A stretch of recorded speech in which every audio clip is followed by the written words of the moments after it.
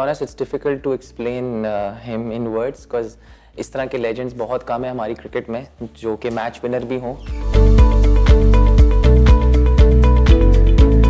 तो you are if you are not a match winner then कोई फ़ायदा नहीं है आपके सौ का।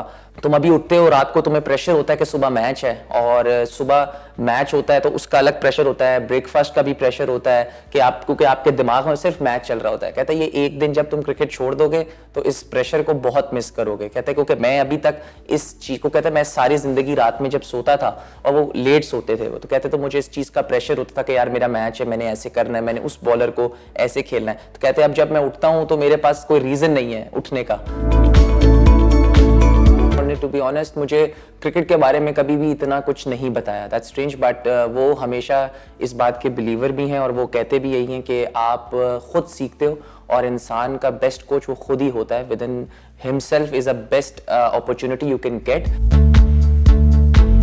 and is a living legend और जितनी उनकी पाकिस्तान के लिए सर्विसेज़ हैं और जितने उन्होंने पाकिस्तान को मैच जितवाए हैं तो मेरे ख्याल से बहुत कम लोगों ने जितवाए हैं। आपको पता है होम ऑफ़ क्रिकेट है लॉर्ड्स और लॉर्ड्स में अगर आप जब जाते हो तो सिर्फ़ छः लोगों की पिक्चर लगी हुई है और उसमें से वो हैं और it's I felt so proud when I saw that जब क्रिकेट की चीज़ें होती हैं तो वो मज़ाक कमी करते हैं, लेकिन घर में बहुत मज़ाक करते हैं। जो मुझे याद, हम साउथ अफ्रीका में थे तो वो साउथ अफ्रीका में हमारे साथ ट्रैवल कर रहे थे। तो हम, मैं और बाबर, मुझे अच्छे से याद हम दो बजे गए थे नेट्स में, और हमने, मेरे ख्याल से कुछ साढ़े चार, पाँच बजे हम बाहर आए थे। तो तीन घंटे जो है, उन्होंने जो है, हमने, दोनों ने बहुत बैटिंग की थी।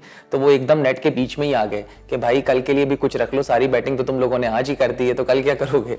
The day I came in to the international cricket तो उस वजह से ही जो है, काफ़ी रिलेट किया जाता है मेरी सिलेक्शन के बेस पे। ऑल दो हमारे मीडिया का काम मेरे ख्याल से होना पॉजिटिव है, लेकिन होता नहीं है ऐसा। तो परफॉर्मेंसेज जिस दिन I I came in the team with the average of 51 in the domestic cricket मगर वो ऑब्वियसली रेफरेंसेस पाकिस्तान में बहुत ज़्यादा नोट की जाती हैं तो उस वजह से मुझे क्रिटिसाइज हुआ। तो मुझे बहुत गुस्सा था और मैं इमोशनल भी हूँ इस चीज़ में और हमेशा से मैंने, मेरी मोटिवेशन ही यही रही है कि जो कि जो लोग मुझे क्रिटिसाइज करते हैं तो मैं अपनी हार्डवर्क अपना डाइट अपनी सब कुछ चीज़ें, इस चीज़ें से मैं बहुत ख्याल रखता हूँ। तो मैं जब, मुझे याद है मैं प्लेन में बैठा था साउथ अफ्रीका में तो मैंने अपने प्लेयर्स को पहले बोल दिया था कि अगर इधर मैंने मैंने जब परफॉर्मेंस करनी है तो मैं ये जेस्टर ज़रूर करूँगा। सारे प्लेयर्स ऑटोमेटिकली बाहर आ गए थे उनको पता था, सबको पता था कि इमाम ने जेस्टर करना है। तो इसके बाद जब ये जेस्टर हुआ और मेरे चाचू भी बैठे हुए थे सामने तो I was so frustrated at that time तो वो मैं इतना फ्रस्ट्रेटेड था कि मैंने ये करना था और मैंने ये जान के करना था और मैंने किया।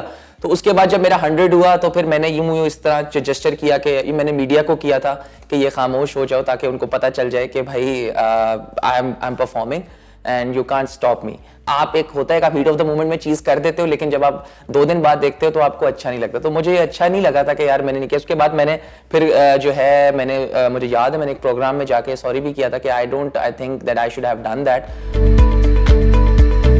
92 की इनिंग्स भी लोग बहुत बोलते हैं सेमीफाइनल की, लेकिन उस वक्त मैं खैर में पैदा नहीं हुआ था। लेकिन जो मेरे ख्याल से वो जो टर्निंग पॉइंट था कैरियर का 2003 का world cup sorry world cup के बाद जो सीरीज़ हुई थी test matches it was very difficult and it was tough for him at that time yes I guess I am very shock के मतलब इतना क्रिटिसिज्म के बाद भी इतना इनको यही नहीं पता चले कि यार I am his nephew so I am very surprise is well but everyone relates me and he always say that you are a भांजा तो और बाकायदा उन्होंने एक तो प्रेस कॉन्फ्रेंस में ये क्लियर क्लियर भी किया है कि ही इज़ नॉट माई भांजा भाई is nephew is my nephew भतीजा है वो।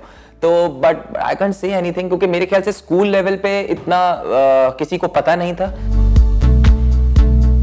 uh, मेरी कभी इस बारे में बात नहीं हुई उनसे but I know that he he doesn't feel good about it मुझे कभी भी मीडिया से कभी फ़र्क नहीं पड़ा।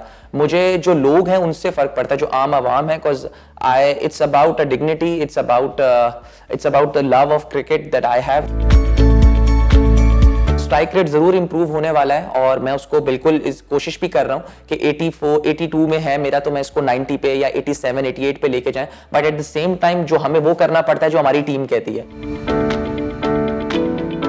Third match 1970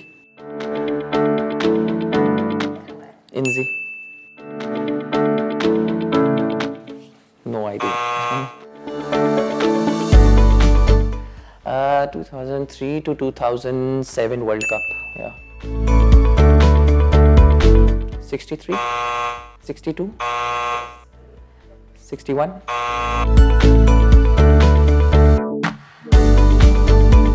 uh, difficult thing. Uh, match winner?